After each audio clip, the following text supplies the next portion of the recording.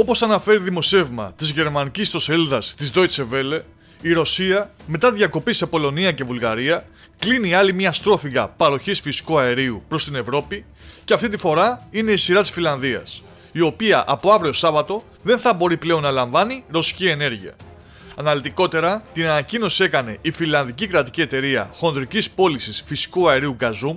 λέγοντας τα εξής.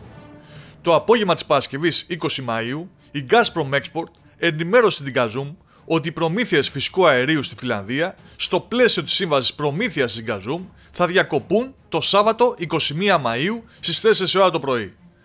Πρόκειται φυσικά για την απάντηση της Ρωσίας στην άρνηση της Φιλανδίας να αποπληρώνει το ρωσικό αέριο σε ρούβλια, κάτι που όπως τουλάχιστον λένε στελέχη της Gazum δεν θα δημιουργήσει πρόβλημα καθώς θα αντικατασταθεί από άλλες πηγές.